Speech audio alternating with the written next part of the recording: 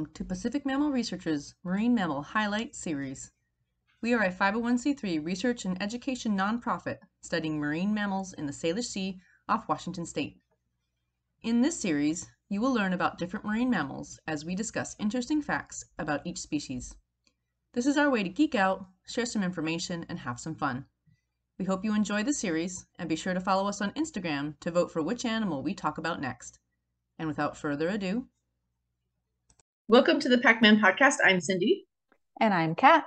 And this week is a marine mammal highlight. And we have we brought back two. Uh, we just recently had done the Weddell seal uh, that lost. Uh, and then we had a while ago done walrus. We we did a, a during the extremist episode, we did a little bit about the yes. walrus because um, yes. they're pretty extreme. Um, but we pitted them against each other, and it was a close one. But the walrus edged out over the Weddell seal once again. poor Weddell seal. they are cool, I promise, guys. They are. They're super we'll interesting. uh, but the walrus one, um, and actually, I'm uh, pretty excited about it because uh, I, you know, I know a bit about walruses, but not not a whole lot. Uh, and there was some really interesting stuff about these guys. I mean, they're just so cool looking anyway. I was gonna say they're just impressive. Yeah. They're just one of those species that's like, all right, I'm gonna take notice of you. right? You can't miss them, really.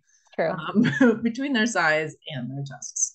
Um, so, with that, uh, we'll go ahead and get started, and Kat will tell us what they look like. Yeah, so let's start off a little bit with where they live, first of all. So, predominantly, they are found in Arctic waters and specifically areas that are covered with that seasonal sea ice. So, we'll get into, I'm sure, later in the podcast why and use this sea ice, but um, that's pretty pivotal to their their distribution and location for sure. Um, they do have a discontinuous distribution, meaning that they are found within these Arctic regions, but not continuously across the entire Arctic. So they're kind of found in these little pockets. I was supposed um, to say like pockets. yeah, exactly. And they have basically it's it ends up having a sort of Pacific group, an Atlantic group, and then another group that's kind of in the Northern Asian region. Um, that are separated from one another. So it's um, I think they're I think they're actually delineated as three subspecies now. Um, I had, I saw the two. I saw the Atlantic and the Pacific, but I didn't see anything about that third one. So I don't know. Yeah, it's. I think that's or... a newer. Yeah, it's a newer subspecies, and I think it's it's called the Laptev subspecies, Ooh, and I believe I... that's the specific area that they are mostly found in. I did see that, and one thing, but I hadn't seen it anywhere else. So I was like, "What is mm-hmm. that?" Yeah, yeah. So I found a couple that said that it was a in proposal for that third subspecies. One that that said it was actually the third subspecies, like that was a legitimate thing. So, um, basically, three general groups is what we're talking about. Um, so basically, found in northern waters of Canada, Greenland, Norway, and Russia. Um, and in terms of population size, I didn't see any like great estimates, but basically we're talking more than about 230,000 walrus, we think, worldwide. Obviously, as we've talked about before, getting population estimates, especially in these more far-flung regions, is really tricky. Yeah. Um, which actually I'll I forgot I'll talk about that when you get into the the recent research because I did see something very cool about that. Oh, I, maybe it's the seen. same thing because I have. Okay, we might have also seen like you can help with it. uh, yeah, exactly. yeah, so yeah, we yeah. probably saw the same. Yeah. Um, but yeah, so basically around 25,000 plus Atlantic walrus, around about 200,000 Pacific walrus, give or take. I saw a couple lower estimates than that as well, but um, around about that 200,000 and about 5,000 of the Laptev walrus. Interesting, there's such a large difference in population size. And mm-hmm. there is some differences related to Atlantic versus Pacific um, that I'll be talking about a little bit. I'm going to be hanging out more mainly with the Pacific walrus because yeah, that's where we are. But yeah, it's interesting. Okay. Yeah. And also appearance wise, they're a little different too. So walrus in general are one of the largest pinnipeds. So again, pinnipeds are um, seals, sea lions, walruses. Um, and they are the only species in the Odobenidae group. Um, oh, living species. Living species, yes, which we'll talk about when we get to the threats a little oh. bit more. Um, well, and, no, you're talking about the size. What's the only animal that's bigger than in the pinnipeds? There's only well two, I guess technically, that are bigger than walruses. Well, Steller sea cow is one that doesn't exist anymore, right? No, yeah, but the uh, ones that are living. Um, um, let me see. The southern elephant seal. And the northern. Northern elephant seal. Yeah. Yeah. The ones that go. Good job. I'm like, wait, now I'm being put on the spot. Wait, wait a second. but you know it. You know it. Come on. I can do yeah, it. the elephant seals are the only ones that are bigger, so there's second go into that. Yeah, yeah. So they do have a very large, strong body with a thick hide that can be over an inch thick. And the hide itself is very leathery and kind of wrinkled in appearance. So again, most of you probably have seen pictures of walrus, but they do appear to be almost bald. They actually do have a very sparse covering of like very short, fine fur, but it's they seem they look like they're bald, especially because of that wrinkled appearance. Um, and the blubber, blubber, the blubber layer, that's hard to say. The blubber layer beneath the, the skin itself can be up to six inches thick, which is That's wild, Bonkers. Right? it and mostly around the neck like, area, Super cool. neck yeah, and shoulders. Yeah, which also makes sense when we get into like the the male on male action Oh, yeah. um, during the breeding season. That's very very essential. Um, interestingly enough, apparently males can also develop nodules, which are called bosses, around the neck and shoulders. Well, So apparently that's a specific male thing. Intriguing. Okay. I think it's Um, they call them bosses. I know. Yeah, it's really intriguing. Um, in terms of their color, they are kind of a mid to light brown. I saw one source that called them cinnamon colored, which I love. I love this. Um, and then the younger animals are typically darker as they get older, they lighten in color, and some of the older males can almost be pink in color. So it seems like they almost lose pigmentation as they get older. yeah, doesn't well. It's um, almost similar to like uh pink. The pink dolphins are born right, and then they turn pink as they get older. Right? Correct. Yeah. Yeah. So it's yeah, it's interesting. It's almost an opposite direction than than most species go. Yeah. In terms of size, um, like I said, the Pacific walrus is different than the Atlantic. So the Pacific walrus is larger than the Atlantic walrus. Um, males can reach up to two tons, Yeah. whereas the Atlantic walrus they're, they're typically around like 1.3 to 1.6 tons. So they're a little bit less chunky, um, with lengths of up to 12 feet. And the females are typically smaller in both subspecies, weighing closer to around that one ton mark with lengths of around eight feet. So Hmm. it's still pretty hefty, but you know, It seems then too that the difference between males and females is greater for Pacific than it is for Atlantic, which is interesting. yeah, potentially, yeah. Hmm. Uh, and both species do have those very distinctive tusks as well. So the tusks are basically enlarged canine teeth, um, and they they continue to grow throughout the lifetime of the animal. So again, they're found in both the males and females, but the male tusks typically are longer and thicker and can reach up to one meter in length, weighing several kilos. Yeah, Crazy. yeah, wild. Can you imagine And- having that just like sticking out of your thinking like it just seems like well, you think about the saber tooth tiger. Like, really, does that like how can you eat? How can you do anything with these giants? Yep. Yep. And they do, and that's a good that's a good point. So I mean, aside from obviously sexual selection and and being this sort of characteristic trait, um, they can be used as a defense weapon and an active offense weapon as well. Yep. Um, We'll but they are yeah, the the tusks are also thought to help them create breathing holes in the sea ice and also to help them haul out of the water. So literally almost like a like a grabbing device to, to help them pull out of the water onto the sea ice. Yeah. Um, but other than the tusks, they have relatively few other teeth. Um, Yeah, they, we're talking about that with the with the food they like to. I was gonna say I figured you would. I'm like, I'm not gonna go any further. I think so maybe you'll get cool. um, speaking of that too, they do also have hundreds of these short little whiskers on their nose. So it creates that kind of very mustached look, um, which are highly, highly sensitive. And again, I'm sure Cindy will get into that when we talk about foraging. Mhm. Um, but fun fact, they can have up to 700 whiskers that reach up to 30, 30 centimeters long, which is about 12 inches. The whiskers. So they say long? Short whiskers. Short. Yeah. Yeah, they say short. Well, I mean, I guess if you if you see it, it's like they're shorter right around the lip area, Oh, and then right, they do and they get they, longer. they do grow longer. So I'm, t- I'm assuming they're talking like the longer whiskers, And I suppose But yeah. relatively that's shorter than their tusks. So right? And if you're talking on a 12 foot animal, 12 inches really really not that long. But I that was staggering to me. I didn't realize it was quite crazy. that. Quite Yeah, I that always think long. about just the ones right next to their mouth and Mhm, right Yeah.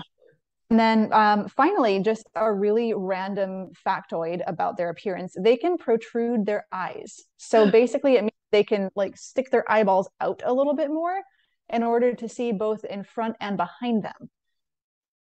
Yeah, so they have both frontal and dorsal vision. And that's basically they have highly developed extraocular muscles, which are the muscles around the eye, and they have no orbital roof. So like basically they can they can roll their eye all the way back and there's no like There's like no eye limit. socket that, that blocks it.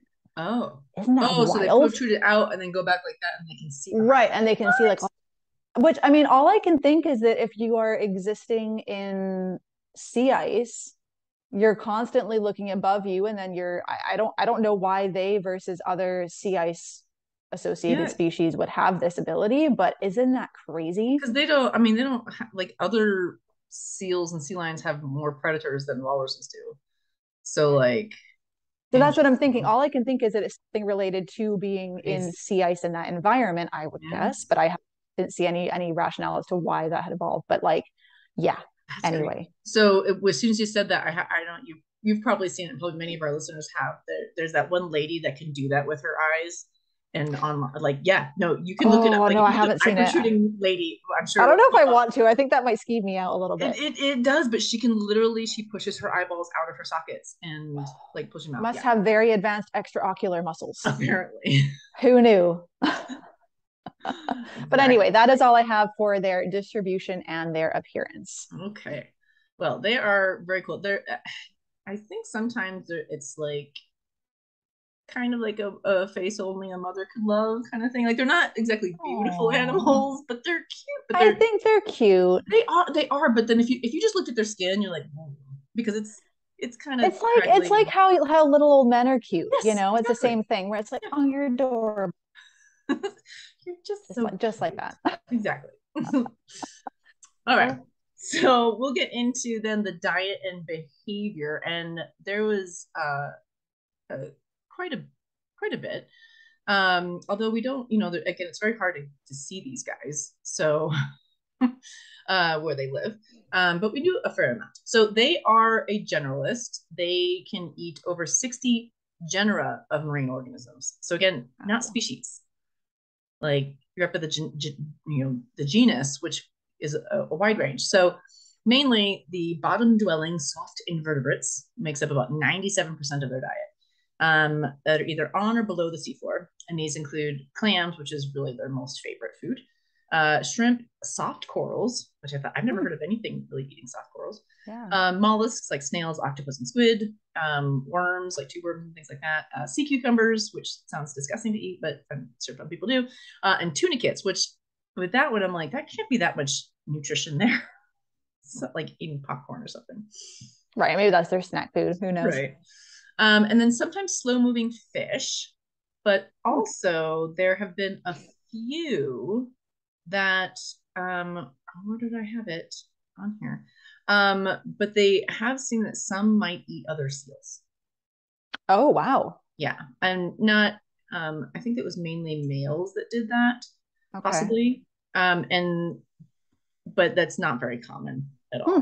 Hmm. Um, and now I'm, I'm, sure I'll find it again in my notes, but I can't find it at the moment right now. if I find it, I'll pull it back up. Um, so they how they feed those really interesting. Um, they generally prefer shallow water, so they're not really in deep water much at all. Um, it, um, which is interesting compared to many of the pinniped species that can dive quite deep. Um, one said that the, the previous dive record was 102 feet, which not very far at all. Uh, but then someone documented them at 1,640 feet. So oh, there's, yes. Well, then. Uh, I think it's likely like 100, 200 feet or less. Most likely, you know, they're close to the coast, um, but it likely depends on both prey distribution and seabed depth. And so they probably can dive deeper if they need to, but it's not very common. Um, so they're generally in those shallow uh, self regions, and they so they don't use the tusks for feeding. Um, and this is interesting because other of the extinct odobenids did use their tusks for feeding, mm. but these guys don't for whatever reason. Interesting. Um, and whatever teeth they have are flat, so they're not really great for anything. Just kind of um, crushing, probably. Yeah, I get, I guess, but but so they they're kind of like um, um, narwhals, which have you know just big giant tusks but no real teeth in their mouth. Yeah, and they use suction, so they have specialized lips and they have a piston tongue that is able to shoot back really quickly and create a vacuum that sucks out the meat to the shells. That's cool. I just like the piston tongue. Super cool. Um, oh, here we go. It's right there in front of me. Most, some, mostly males will also feed on seals and seabirds. Oh, wow. Interesting. Yeah. I was like, that's why are you eating seabirds? Okay. Huh.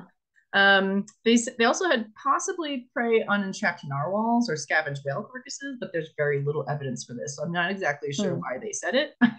there's really no evidence for it, but apparently it's a thing that could happen. Um, mm. And that's probably those extremes, right? The individual like decides to try to do that because it's an option, but it's not what they really do. Um, so one of the biggest things I, I learned, um, I had always kind of thought that they use the, or had heard that they use the tusks to dig up the sediment and find oh. the food, right? They don't do that. Yeah, I was going to say, I don't think I'd ever heard that. Yeah, I, for whatever reason, I, I had had that because multiple things said they do not do this. Like, you know, yeah, interesting. Trying to make it correct. Um, so they actually use their whiskers. Those vibrissae, they're again, super sensitive, very much like cat whiskers, right? So they're very, very sensitive. Um, and that helps them find their prey on the seafloor. Um, and then what's cool is that they, again, their mouths are super cool. They clear the bottom with jets of water. Um, oh, interesting. And, and active flipper movements. So, so like. right. Yeah. They're like blowing away the sand almost. Yeah, exactly. That's cool. Rather than using the giant tusks that they have that they could you know, do that for. So it's, it's, uh, I mean, I guess if you don't need to, then you don't need to, but it's interesting. Um, and so there are some ecological benefits to this uh, for the environment because it it disturbs the seafloor, and I love this term. It bioturbates. Mm-hmm. Super mm-hmm. cool. So turbation is is basically to you know mixing things up, and so what that does is it releasing releases nutrients into the water column, and encourages mixing and, and movement of different organisms, um, and then increases the patchiness of the seafloor, which I thought was interesting that they called that a benefit. So you don't always think of patchiness as a benefit to things, but there must be a reason for it. Yeah, I'm trying to think back to my ecology classes. Um, yeah. yeah, I mean, I, I know there is. That sounds familiar, but I'm not. I'm not recalling exactly why that's yeah. helpful. And maybe there's delineations between different areas so that you know different things can live. I think it's. Yeah, I think it's something to do with like niche specialization and like actually like distribution of habitat for different species to utilize. Yeah, exactly. Rather than all just being continuous, and I guess if it's patchy too, that would increase biodiversity because it's not all the same. Right. Yeah, because one thing would, so. would out out compete everything else, and then right. One thing. Yeah. So the uh, I th- was thinking of them kind of like beavers, right? They are um, ecological engineers, mm-hmm. you know, mm-hmm. um, which is very important. So another reason to help protect them. Um, so uh, behaviorally, so because their food is is there, they they do stay close to shore and and the um, land and ice, depending on where they're at, because they do use land as well. Um, but they use the sea ice extensively as a haul out throughout the year. So no matter where they are, they like to use these um, ice floes. Um, for summer, uh, when they're farther north, um, they uh, uh, use them as resting areas be- between feeding. So, you know, you got a two ton body, you're flinging around the ocean, you got to get tired, you got to throw yourself back up on the ice for a bit. Um, it also provides shelter from storms and predators. Right? So um, not that they have too many killer whales and and polar bears are really their their main ones, but they're not they're not as preyed on as much as other pinniped species are. Probably because they're so huge. We'll talk about that. Yes. Um, and so uh, also what's interesting is, and maybe this has something to do with the difference between the sizes of the Atlantic and Pacific, but the loss of sea ice is going faster in the Atlantic than it is in the Pacific. And so I, you know, I don't know how that relates exactly. And we'll talk about in the new research how sea ice maybe isn't super strong correlated with um, with their food and stuff like that. Um, so basically, eh, you know, eh, the, the, the, level of sea ice is really important for them, but how it affects their populations may be very varied or, or different that mm. we just don't understand. Um, but I thought that was interesting that it's faster on one, one side versus the other. Mm-hmm. Um, they are very social, these walruses. Um, they travel and rest in large groups. So you have the mother calf bond, which is the strongest and the longest among pinnipeds because the, the calves will stay, I'll talk about that in a second, but um, at least two years.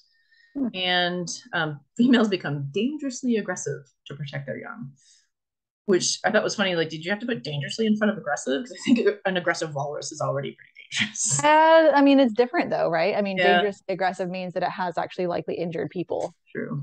True. You know, because you can just be aggressive but not actually do anything. Yeah, more threaten versus actually. Right. Like, no, I'm just gonna take right. yeah. Um, so if there's no sea ice, then they will rest on rocks and sandy beaches, even grassy hills. I'm just imagining a little walrus hanging out on a right, just hill. reclining Amazing. on a grassy knoll. Um, and so this allows that opportunity to form these very large haulouts. And sometimes you get tens of thousands of individuals, which blows my mind. Seeing It'd be so cool to see that. so cool. It's crazy. Um, and so the tusks, as you're talking about, are mainly social um, in use, besides hauling themselves out, you know, with the onto ice floes and stuff like that, or chip the holes, like you said, to get um, breath holes. Uh, but the males are commonly used for sexual display and sparring. So the larger tusks um, animals dominate the social groups and, of course, the mating opportunities. Um, and what's cool is that they will raise and then turn their head sideways to display their tusks, and they're basically measuring them. So they like interesting. So other. they're literally doing the like, "Hey, is yours longer than mine?" yeah, uh, exactly. Love it. Direct comparison, and then the one with the smaller tusks will usually move away. Wow. But if they have similar size, then they may fight and may stab each other, inflicting bruises and punctures. Yeah. So, and I mean, if you've ever seen like Frozen Planet or any of the, um, you know, those kind of nature documentaries where they they show some of the sparring, it's pretty intense. Like they can really, really like fatally damage one another during these fighting. fighting well, you have like a three foot long tusk, and get, granted, your hide is an inch and then maybe six inches of blubber, but that she goes any further. I mean, still... yeah. I mean, you still have two tons of weight behind it though, right. stabbing through that. So I mean, exactly. it's pretty. So I thought it was very interesting that they have that visual inspection, and then and mm-hmm. it's like, oh yeah, okay, yeah, no, you're bigger. Okay, thanks. Yeah, that's really interesting. um, and then females uh, are will also be aggressive in that they will threaten and jab each other for better position on the haul outs, right? So they have a better mm-hmm. position for female for their babies and everything. So it was cool. Um, and then the defensive, they fought off rare attacks from polar bears or killer whales, which or other walruses, um, which I'm sure Kat will get into later with the threats. Um, so interesting for their migration, they actually they winter in, and again, this is the Pacific. I'm only I'm only talking about the Pacific here. Um, they winter in the Bering Sea sea pack ice, and then they separate in the spring. So they're going up in the summer to go to higher latitudes, like many other cetaceans and mammals we've talked about. Um, and so in the spring, the females with young migrate to the Chukchi um, no, uh, up north, um, often passively moving with the receding ice. So there's like as the ice goes away. Um, most adult males actually migrate to Bristol Bay, where they rest on land haulouts between foraging bouts. So it's uh, there's interesting that there's a sexual difference between the migration. Mm-hmm. Um, so Guy, the, the boys are hanging out in Bristol Bay. The girls and some of the other males have gone up to the north to, to feed. And then during late fall, they begin their return from the Chukchi to the Bering um, ahead of that advancing sea ice, right? It starts to close up, so they start heading back down. And then the males in Bristol Bay actually go north to meet re- meet that returning population, and then all head back together. How interesting. So I mm-hmm. wonder, is that related to food cycles then? Uh, I would assume. I would assume that maybe um, the males that aren't, um, well, they mate you know if they if they're if they're not they don't need to be around females for any reason or whatever they're just they get more food down in bristol bay yeah. i guess. And interesting. or they segregate it that way. That way the females can get what they need and the males get what they need. Right. uh, they didn't elaborate on that. Or, hmm. yeah that was interesting. And there, there yeah. are cases in other a- animals where the males and females do different things. Um, mm-hmm. but that's apparently what they do. Here. Hmm. um, so for reproduction now that we they've all congregated back together in the winter um, the females are sexually mature around six to seven, um, and they give birth every two years. This is the lowest reproductive rate of any pinniped. Um, and ovulation is suppressed until the calf is weaned, so they don't. Yeah, there's no crossover. Um, what's really interesting is that males, uh, females are diestrous, so they actually go into heat in late summer and in February, mm-hmm. but only the mm-hmm. males are fertile around February. So what's the point? So wait, so the males are not fertile all the time? No. Well, so that's they said that oh, they're only fertile in February, but I don't know if that just means they they they only have the babies in February or they only mate in February.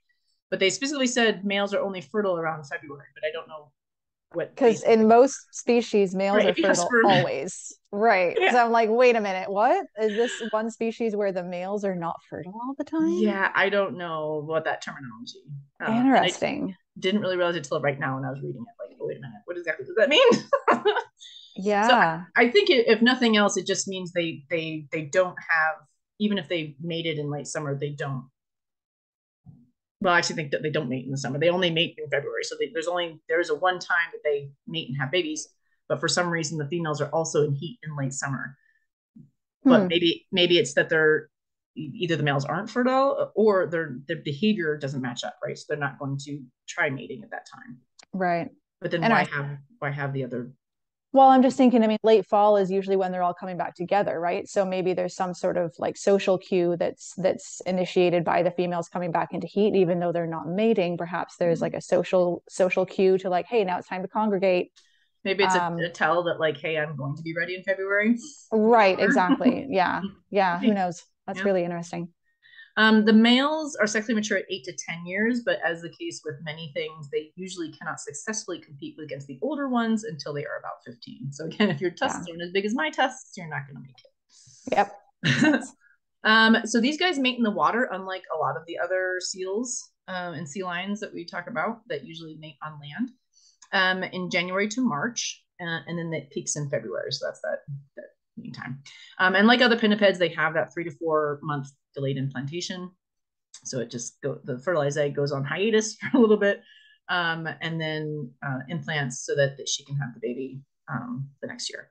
So it's a total gestation of about 15 months, and that is the longest of all pinnipeds, which Yeah. again goes to uh, long time frames. Um, so the males will aggregate in the water around these uh, icebound groups of females and engage in competitive vocal displays um, of clicking and bell-like sounds. That's all that I could find on it, but I think it's funny these giant walruses are like, Bing! I was gonna say, you're just like, oh, check out my sensitive side as I Right? make my little bell-like sounds while displaying my tusks. Right. It's like like it's a big big giant like two ton walrus like holding this little triangle. Ding, right? ding. so wonderful. So cute. um, and then I guess the females go, hey, that was super sexy, and uh, join them in the water and then copulate. So um, they give birth on the sea ice in late spring, which is April to June, um, and then calves stay with mom uh, for uh, it, for at least two years uh, usually, and they can swim at birth, which is important if you're on an ice slope. Mhm. Um, they nurse for over a year and then wean, um, and they have the milk fat and protein levels are higher compared to land animals, but lower than other phocid seals. Like Interesting. again, that that because they have long lactation. They have longer time. to- Yeah. Yeah. Less pressure. Um, and they did note that calves can stay with a mom up to five years. wow. So yeah, so the, so it goes to uh, your when we talk about uh, population and threats and stuff like that. This, these guys will take longer to come back from any kind of issues because they have these longer gestation, you know, longer um, nursing and uh, um, how long they have calves, how easily, how quickly they have calves. Um, so that's what I have for behavior. Um, I think we will take a quick break and then come back with our our threats and status, and then some cool new research that we're going to talk about. So we will be right back.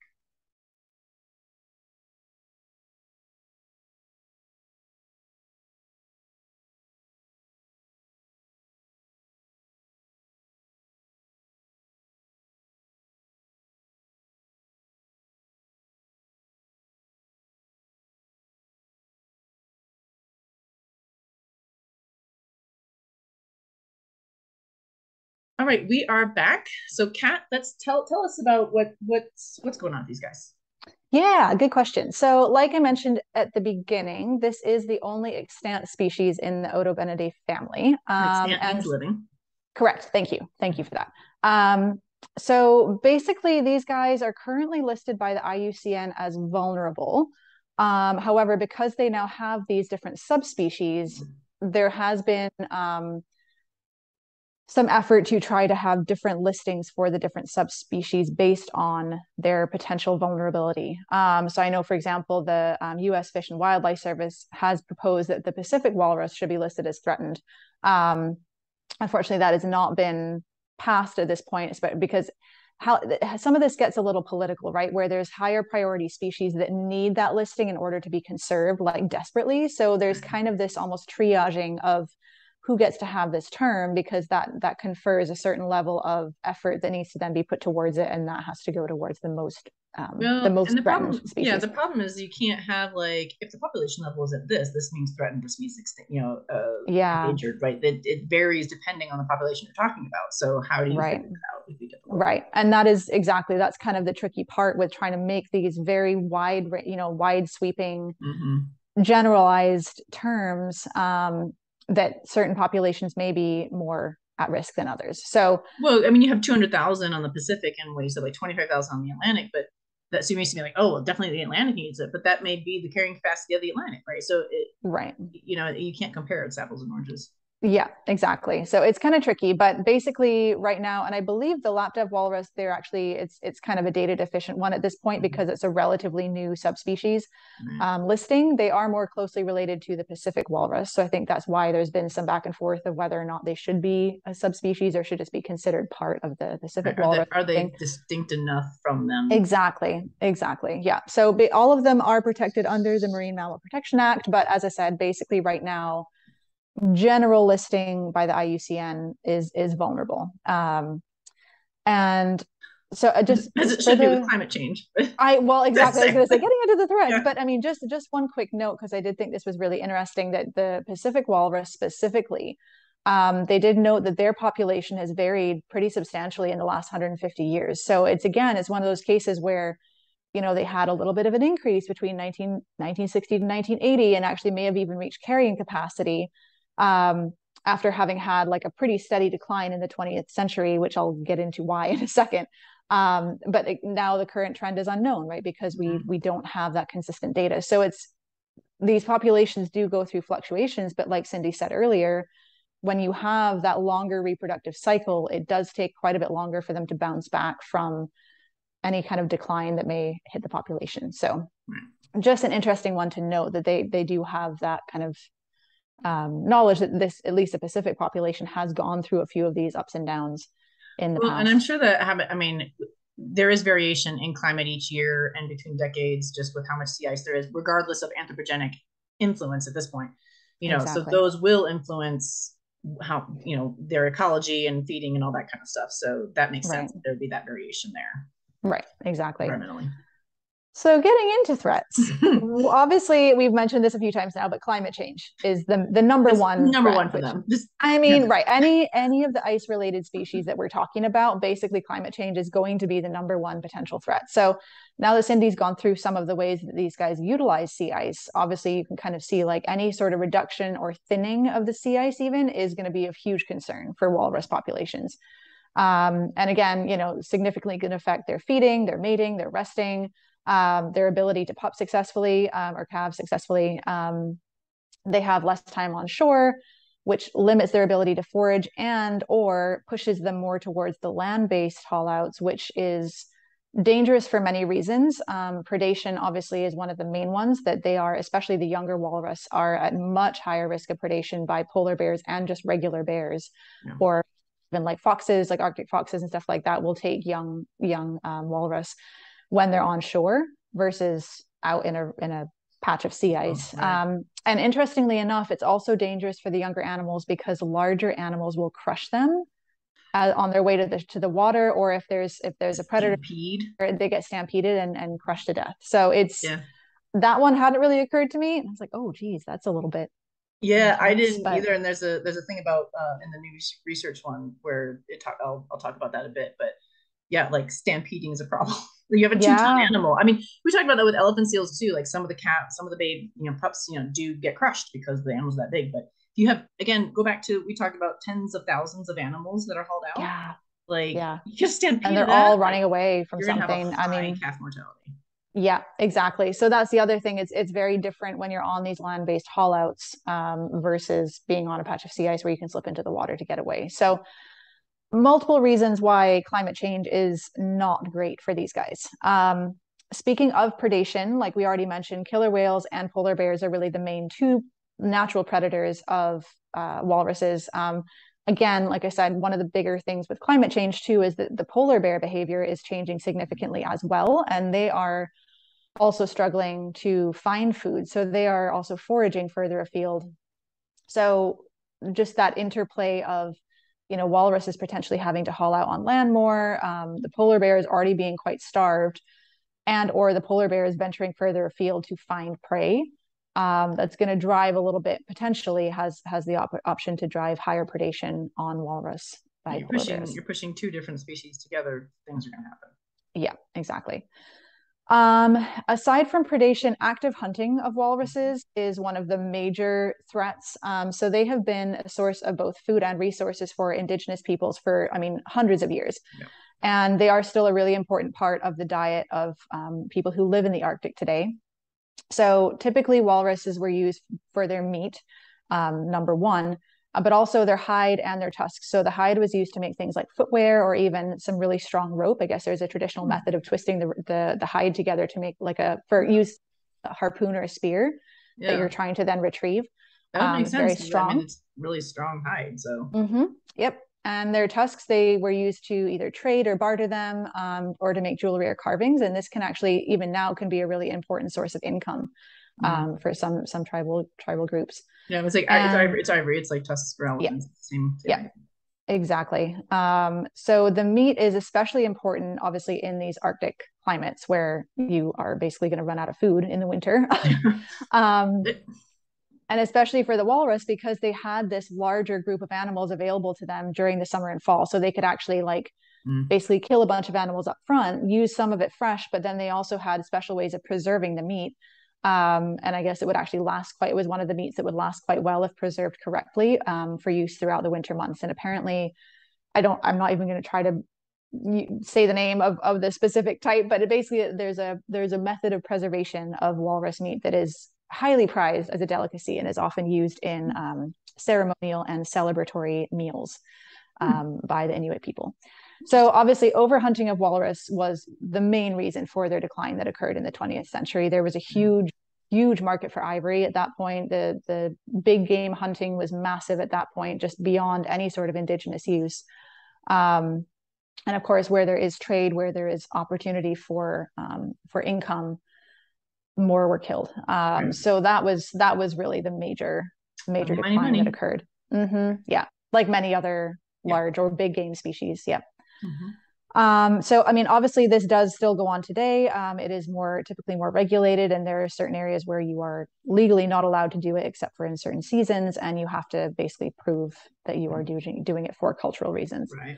Um, mm-hmm. Yeah. And then lastly, we have just right, you know kind of more generic human disturbance. So they are quite sensitive to disturbances. So things like boats or even low flying flying the low flying planes, tripping over my words, um, can cause the animals to flush into the water. So again, like we talked about with that stampeding, if they're on land, yeah. uh, you know disturbances can cause that to happen. And obviously, just as the sea ice breaks up more, um, you know we've talked about this in previous podcasts. There's going to be increased vessel movement in the Arctic and therefore increasing the likelihood that these animals are going to be disturbed either directly or you know disturbance through things like pollution or oil spills or anything like that um, that may displace the animals and or you know potentially over longer term cause major well, problems the energy expenditure right mm-hmm. so now you're swimming yeah. more it's the same thing with the polar bears right they're swimming yeah. now more because they're in between ice patches and you just use more energy than you're getting when you feed so yeah, and that's the thing. If you're being disturbed from your feeding right. every time you try to go feeding, or resting. buzzing by in a boat or resting, mm-hmm. exactly, mm-hmm. it it really just lowers the threshold that they can handle. Well, and then too, um, if you're um, flushing when you don't need to, then you don't flush when you do need to because you're too tired, and then you get eaten. Right, right, exactly. so. Yeah, that's a good point. Yeah. Um, so that was all that I had for threats. Do we want to do? Do we want to leave fun facts to the end? Should we do the new yeah, research first and then do some fun facts at the end? And okay, there's cool. some interesting research stuff. Um, so what I found even more interesting is that there wasn't, at least that I could find. Again, I, I don't do like a crazy extensive search here, but um, there weren't that many like newer articles. Most of the articles I have here are from like 2010s, maybe, which mm. doesn't seem that long. But then you think about it, it's like well, that's 12 years ago. that's the 80s were not 40 years ago. Oh my God. Um, so, uh, so I thought that was interesting, and most of it are about these historical perspectives in relation to the harvest that were done and sea ice change and trying to see how those changes will then affect what's happening now right mm-hmm. so there isn't there wasn't a lot like about like we're doing this really cool study on vocalizations or like even hey let's go out and count all these animals yeah. but speaking of counting this is one i think that you probably i think we probably yeah i think it's the same one walrus from space yeah Yes. So uh, and I saw cool. this, and I'll I'll put the link to this one in the show notes because it was really cool. And so this is like again, we talked before on other podcasts about citizen science, um, and basically they have all of these. Um, they need people to be walrus detectives, and they have all these pictures from satellites of the of the Arctic regions, and um, these satellite images. they need people to look at them and see if you can see walruses. Um, it's just it's a it's a massive thing that you know one two people are going through. It's going to take them forever. But if everybody can just take a look at these and say, oh, I see five or I see 20 or a thousand uh, and put them in, and then they can understand more about when and where these animals are hauling out and what they're doing. Um, so they said, even, um, let's see, are asking the public to be, as WWF and the British Antarctic um, Survey are asking the public to become walrus detectives and help contribute to conservation science by spending as little as 30 minutes searching for walrus in thousands of satellite images taken from space. Um, and that's for the Atlantic walrus specifically. Gotcha. So if you, I want to do it. I know, right? I, I told you, I was like, oh, I could spend 30 minutes looking for walruses. that sounds fun. Um, so if you want to help out with walruses, that's the way you can directly do it and contribute to research. So that was super cool. Um, so then the one of the more recent ones was from 2018, and this was looking at archaeological, historic, and modern Pacific diet across 4,000 years um, wow. to look at changing sea ice conditions and how that affects their feeding. Um, again, this is using stable isotopes, so I'm not going to go into detail about that. You can listen to our last podcast that we just talked about stable isotopes um, about that, but it's basically looking at molecular data to determine um, what the animals are eating. Uh, and so this was interesting in that they they looked at high versus low sea ice times. They compared to see what the animals were eating during those times, um, and um, the in archaeological times the levels were similar for, with high versus low years so it didn't seem hmm. that there was really that much of a difference but there was more variation at the low years so this may mean that there's a decrease of preferred prey so they're still doing okay and they're eating other things but not as much as what they usually eat right so um, again one of the pros of being a more generalist predator exactly right you have yeah. other options Mm-hmm. Um, but what's really interesting is that I think this is counterintuitive if we talked about, you know, we talked about how much the sea ice is important to them. Overall, sea ice conditions were not a primary driver of changes in walrus diet over 4,000 years. Hmm.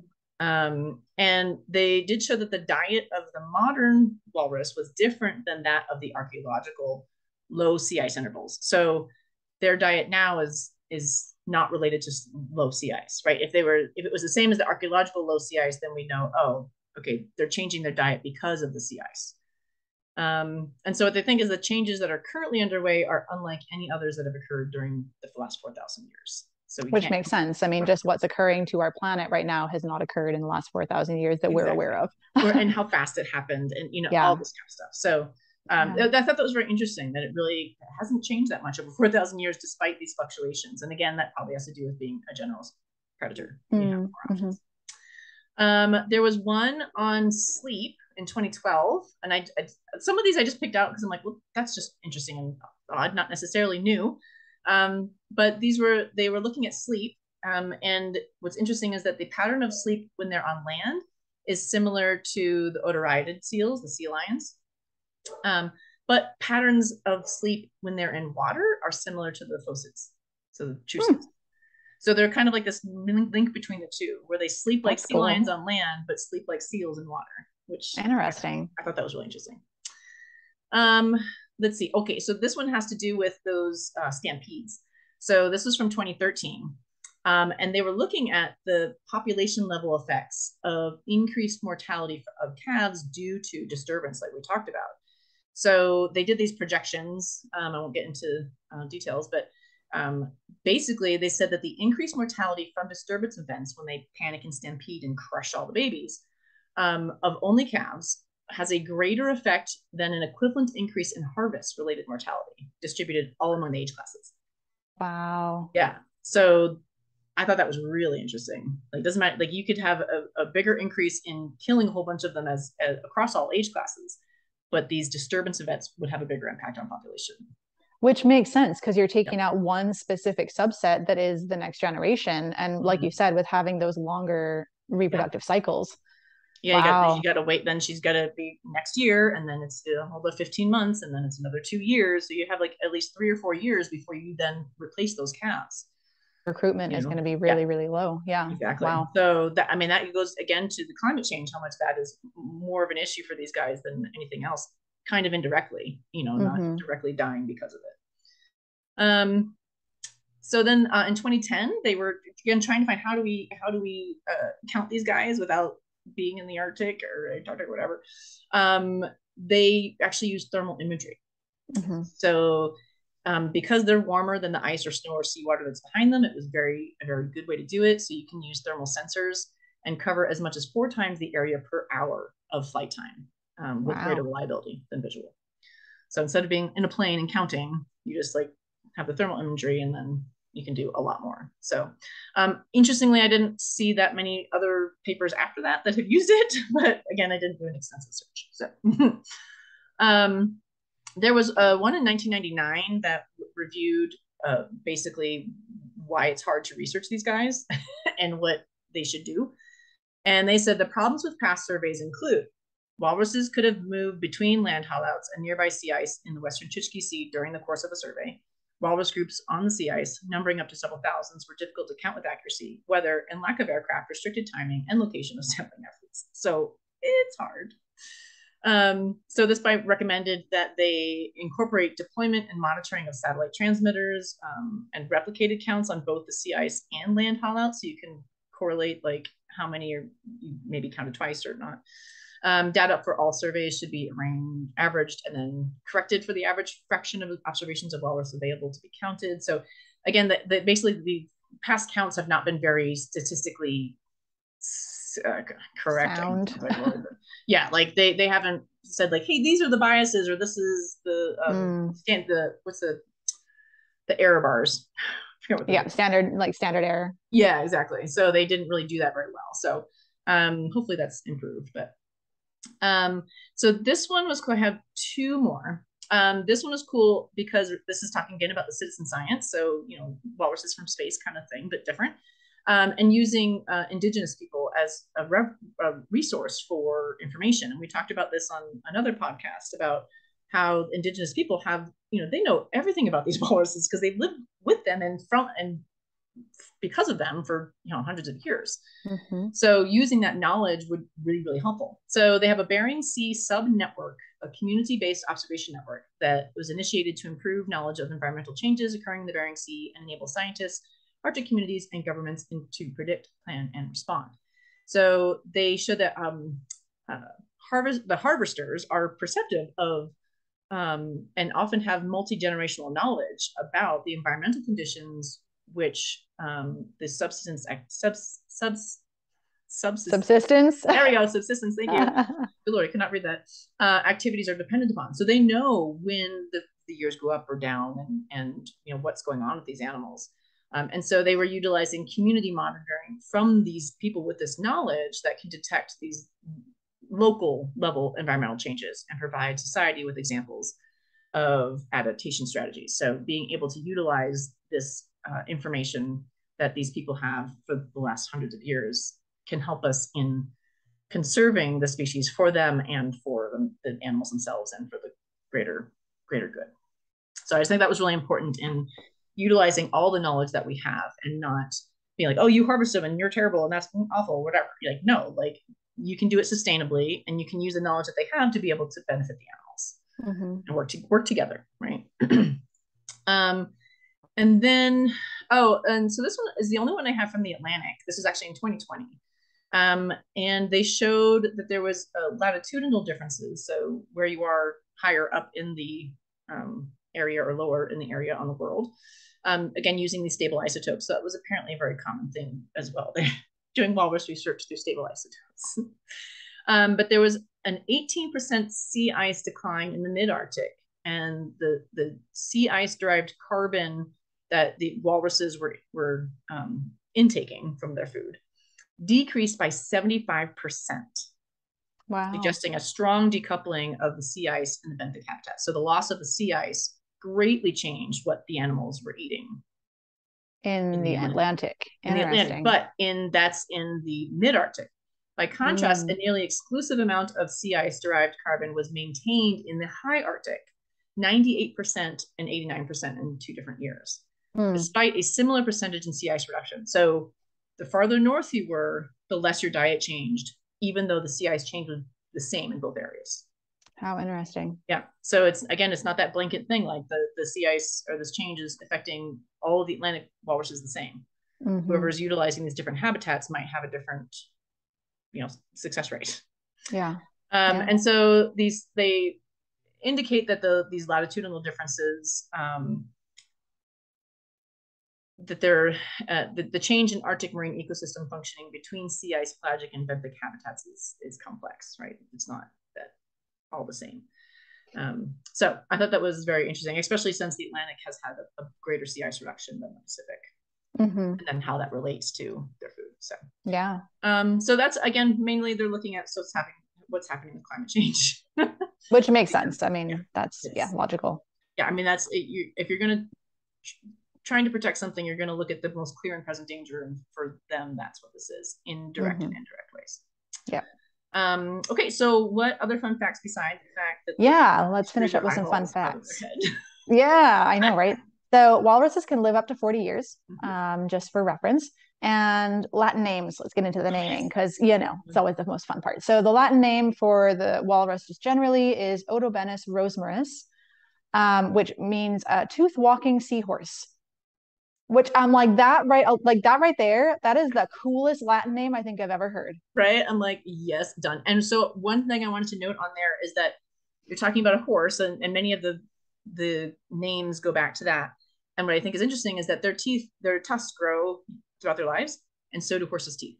Yeah. That's where the yep. long in the long and the tooth thing comes from because mm-hmm. horses' teeth go. So it, it it totally makes sense that they're like this giant seahorse.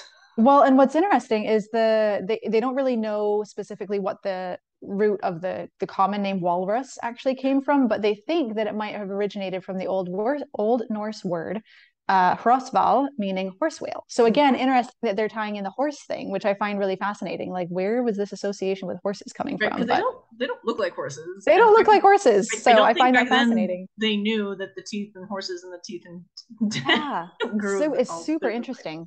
Yeah but yeah, so that was that was super cool just with their with their Latin name.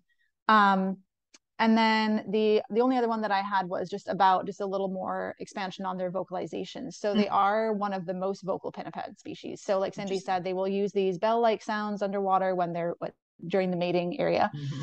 um, or mating season rather. But they also have been recorded to make grunts, snorts, bellows, growls, barks, whistles, rasps, and clicks.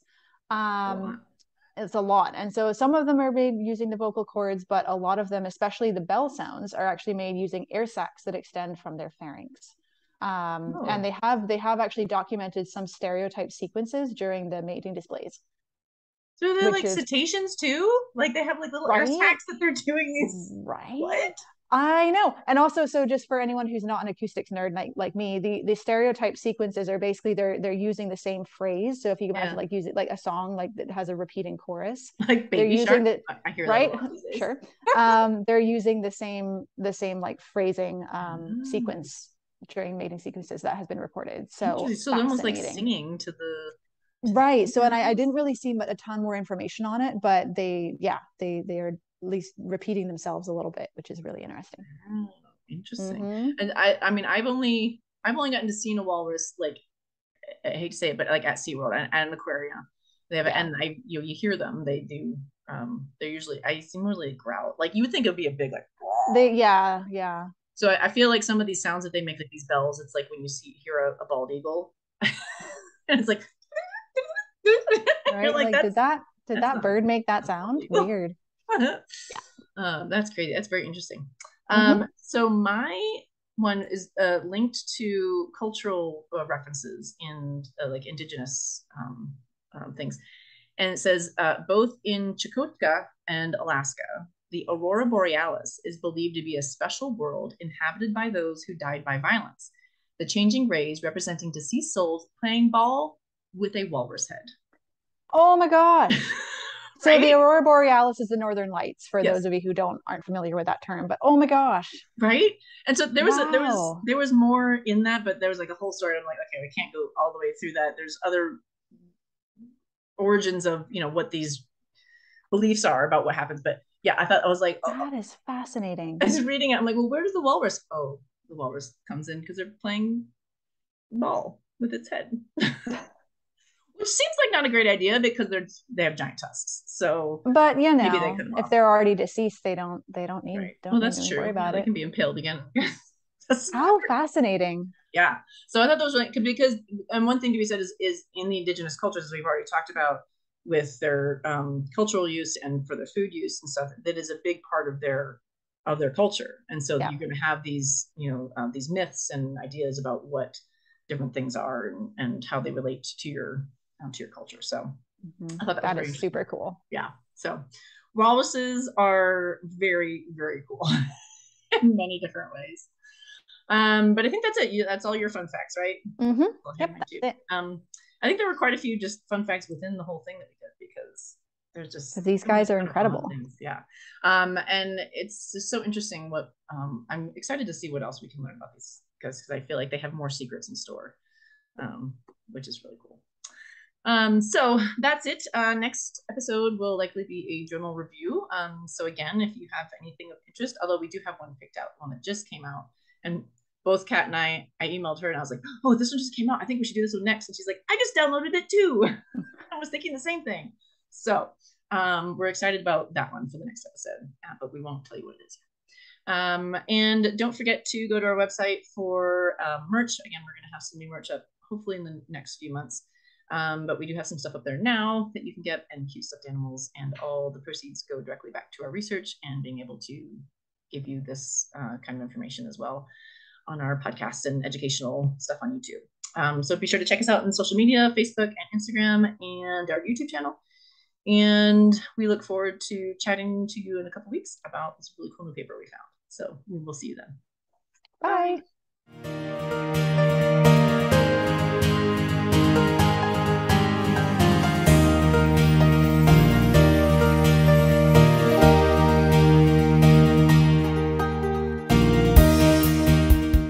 This was brought to you by Pacific Mammal Research, a 501c3 nonprofit organization. To learn more about the species we discuss, check out our blog. Head to our website, www.pacmam.org, that's P A C M A M.org, to check it out. Also, help us continue providing fun and educational content like this by donating today. Your help is how we can continue to do our work and share it with you. Thanks.